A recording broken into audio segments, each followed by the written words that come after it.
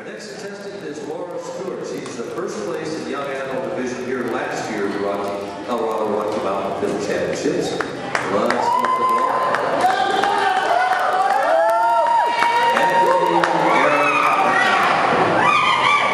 Laura. Has the three right here with her. Uh, Anthony Al is her accompanist. Judges, contestant number three.